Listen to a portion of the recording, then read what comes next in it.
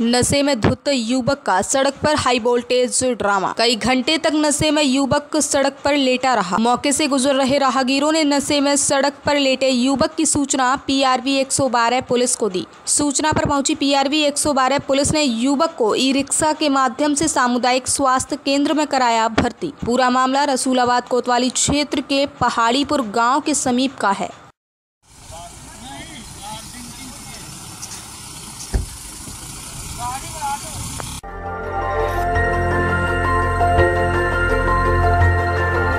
देखते रहिए डीवी भारती समाचार। नज़र हर खबर पर।